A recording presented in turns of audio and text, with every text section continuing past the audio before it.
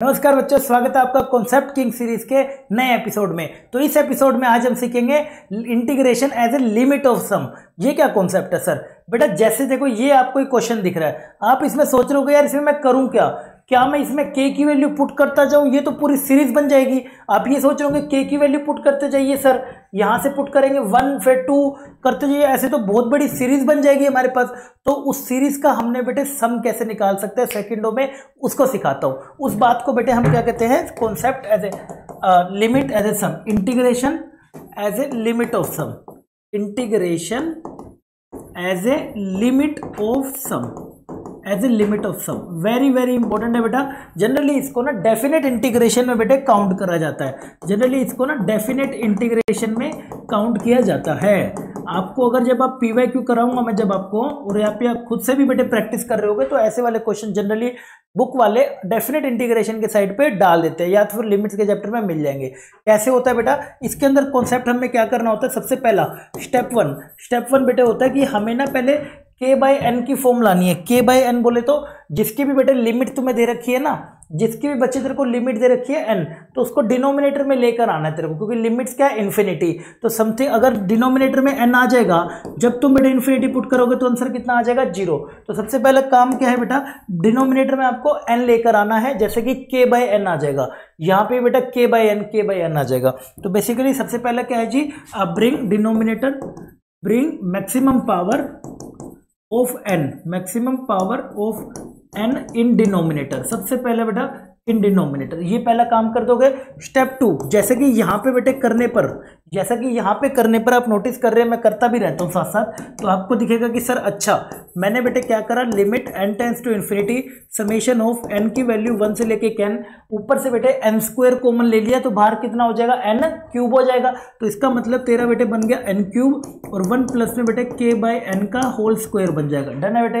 अब सिमिलरली नीचे भी बेटे जब तू देखेगा तो एन की पावर फोर को ही कॉमन ले ले तो एन की पावर फोर को जैसे ही बच्चे तुम कॉमन लेते हो तो आपका बच्चे क्या बचेगा जी one plus K by N का होल स्क्वायर और बेटा ये कितना बन जाएगा? के बाय एन की पावर फोर ये आपका बन जाएगा जी सीधा का सीधा? यस सर तो बेटा अब इससे बेनिफिट क्या होगा? आपका एन क्यूब से एक एन कट जाएगा। एक वन बाय एन बच जाएगा।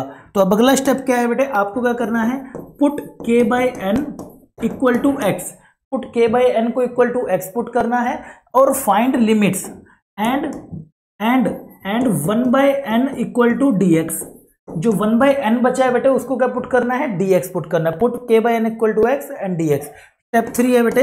स्टेप थ्री है कि find limits find upper limit and lower limit of integration find upper limit और लोअर लिमिट ऑफ़ इंटीग्रेशन ठीक है ना? Of integration and replace replace summation sign इस साइन को विद इंटीग्रेशन के साइन से। इसको बेटा इंटीग्रेशन के साइन से रिप्लेस करेंगे, ठीक है ना? या आप इसको ऐसे भी समझ सकते हैं रिप्लेस इंटीग्रेशन साइन विद इससे समेशन साइन विद इंटीग्रेशन अब इंटीग्रेशन है तो बेटा इसकी इधर को लोअर लिमिट भी चाहिए और अपर लिमिट भी चाहिए होगी मैंने बोला ना डेफिनेट इंटीग्रेशन है। तो लोअर लिमिट और अपर लिमिट कैसे निकालेंगे? फॉर लिमिट्स के लिए बेटा। ये लिमिट कैसे निकालेंगे? आपको क्या करना है बेटा? पुट कर दिया आपने के बाई एन रख दिया ना एक्स के बराबर। डन अब आप क्या करेंगे? के की एन की वैल्यू सबसे के की वैल्यू के की वैल्यू सबसे पहले आप बेटे पुट करेंगे वन और फिर पुट करेंगे एन पहले वन और फिर बेटे एन तो यानी कि जब मैं बेटे के की वैल्यू पुट कर देता हूँ वन तो मेरा बेटे कितना हो जाएगा? वन बाई एन हो जाएगा। और लिमिट कितनी दे रखी है? इन्फिनिटी लिमिट बेटे कितनी दे रखी है? इन्फिनिटी पुट कर दे बेटे लिमिट यहाँ पर लिमिट भी लिख लो। लिखना है तो यहाँ पर मैं ना लिमिट भी लिख देता हूँ। साथ साथ लिमिट यहाँ भी लिख देता हूँ, बस limit N tends to infinity और बेटे N tends to infinity K by N X हो गया। अब जैसे बेटे तुमने यहाँ पर के की वैल्यू वन पुट करी है, ये आपका वन हो गया। अब लिमिट पुट करना वन बाई इन्फिनिटी कितना होता है मेरे लड्डू? ज़ीरो होता है। तो एक्स की वैल्यू यहाँ से बेटे कितनी आ जाएगी? ज़ीरो आ जाएगी। सिमिलरली ठीक है? सिमिलरली बेटे अगली बारी के की वैल्यू अब क्या पुट करनी है आपको? के की वैल्यू बेटे अब आपको पुट करनी होती है एन के की वैल्यू जैसे अब आप एन मैक्सिमम वैल्यू पहले मिनिमम और फिर मैक्सिमम। अब मैक्सिमम वैल्यू पुट करूँगा तो बेटे N tends to infinity N by N cut जाएगा, ये एक्स आ जाएगा। तो यानी कि एक्स की वैल्यू बेटे कितनी आ गई? वन आ गई। तो यानी कि लोअर लिमिट बेटे ज़ीरो हो जाएगी और अपर लिमिट कितनी हो जाएगी? वन हो जाएगी। बस तो इस तरीके से तेरे को इसको कन्वर्ट कर देना इंटीग्रेशन में। तो यानी कि मेरा क्वेश्चन बच्चे कैसा बन गया? अब ध्यान से देखिएगा। मैंने बेटे क्या करा? के बाई एन को एक्सपुट करा है और इसको बदल दिया है इंटीग्रेशन के साइन में। इसको बदल दिया इंटीग्रेशन के साइन। तो सारा का सारा सिस्टम हट जाएगा। बचेगा क्या मेरे लड्डू? ये बचेगा इंटीग्रेशन कहाँ से कहाँ? ज़ीरो से लेके वन तक। यहाँ पे था वन बाय एन था। यहाँ पे बेटे वन बाय एन था। के बाय एन को बेटे हमने क्या पुट करा? एक्स का square this is one plus में एक्स का स्क्वायर और एक्स की पावर फोर ये बच गया। हमने क्या सीखा? वन बाय एन को बेटे क्या पुट करना है? डी एक्स तो देयर फॉर ये मेरा कितना बन जाएगा? इसे ज़ीरो से लेके वन वन प्लस में एक्स का स्क्वायर अपॉन में वन प्लस में एक्स का स्क्वायर और एक्स की पावर फोर इंटू में डी एक्स बस, अब आपको इसका इंटीग्रेशन करना है। ये तो बेटा बहुत ही जानी मानी फॉर्म है। डेफिनेट इंटीग्रेशन है बेटा, इसको सीधा सीधा सिखाया जाता है। क्या करना होता है? जब भी ऐसे ऊपर, नीचे फोर आ जाए, ऊपर स्क्वायर आ जाए। फोर और स्क्वायर आ जाए, ऊपर नीचे किससे डिवाइड करना है? एक्स स्क्वायर से।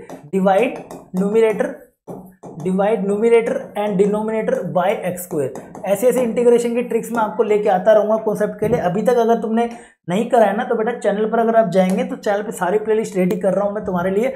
पढ़ते जाओ जे दो और चौबीस आसानी से निकलेगा सारी ट्रिक्स कॉन्सेप्ट तुम्हें वहीं पर लिख के दे दूँगा मैं, ठीक है? शाबाश।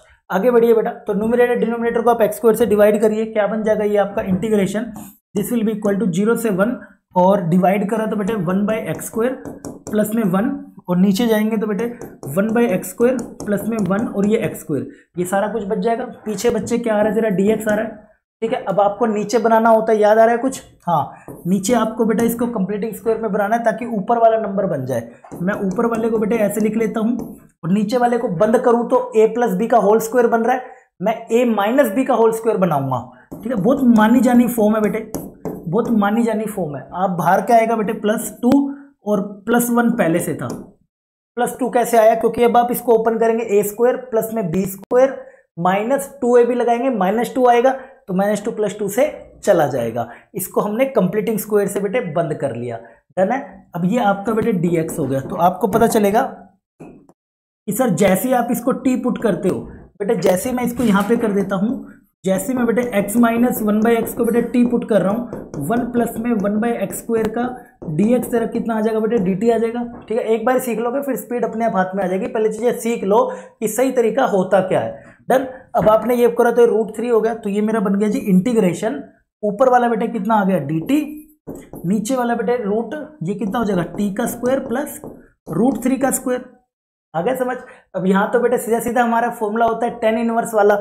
याद आ गया? तो सर टेन इनवर्स का हमारा फॉर्मूला क्या बनेगा? One by a one by a बेटे, ये होता है हमारा this is one by a right tan inverse tan inverse x by a x बेटे कितना होगा? यहाँ पे टी होगा और टी बाय रूट थ्री ये आपका बन जाएगा। टी की वैल्यू रख दो और लिमिट पुट कर देते हैं, जल्दी से। टी को बेटा वैल्यू पुट कर देते हैं और लिमिट पुट कर देते हैं। कितना आ जाएगा जी?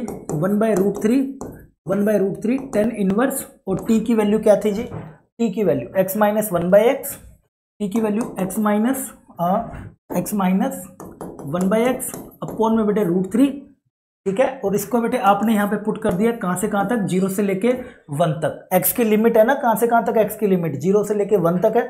बस बेटा आप पुट कर दिया, अब जल्दी से शुरू हो जा। वन बाई रूट थ्री तो बाहर ही आ गया था।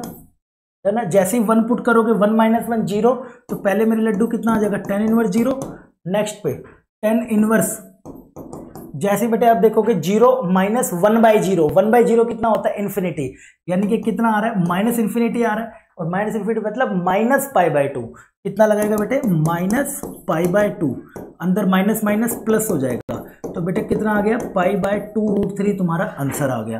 Pi by two root three यानी कि कौन सा ऑप्शन हो जाएगा? C is your right answer. इस प्रकार बेटे आपको लिमिट ऑफ़ सम करना होता है। क्वेश्चन बहुत आसान था।